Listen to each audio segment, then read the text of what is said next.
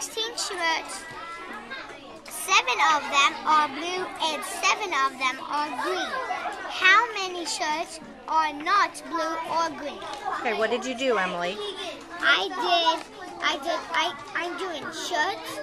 One, two, three, four, five, six, seven. So I got to 16. I'm drawing them, the outside purple. And now I'm going to color them in. I'm going to like, like offset the, this, the number. Then, then I'm going to color those shirts. And then, then I'm all done. Okay. Wait a minute. Why did you X those last two out, Emily? Because I'm gonna, because they're, they that's a, a group of four, and it says four, um, seven. So I'm gonna X out seven, and if there's none left, then I'm not gonna. How many is that, Emily? That is seven. Okay. One, two, three, four, five, six, seven. Now what are you going to do? Uh, now I'm gonna absent. Then I'm gonna put the blue back. Now I'm gonna absent green. Okay. One, How many? seven.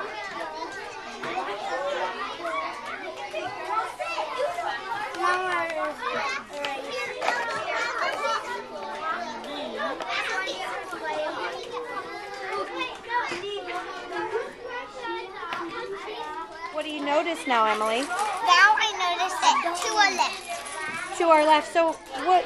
What's what do those two mean? Two means there's all the other ones are absent. What's the question? What are you trying to figure out? There are six What's the question, Emily? Not the. What's the question? How many shirts are not are blue or green? So how many is it? Two. Very nice. Okay, you drew 16 shirts. So can you write 16 for me? Yes. Okay, then did you add or subtract? Subtract. So can you write subtract minus? How many did you subtract?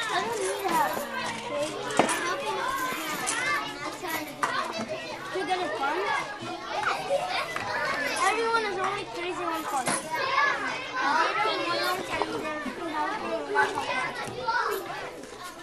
I'm the first. I'm the first. Count.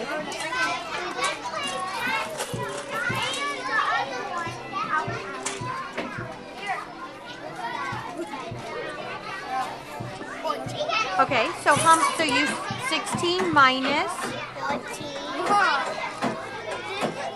equals 2. And is that your? Is that the correct answer? Huh? Awesome.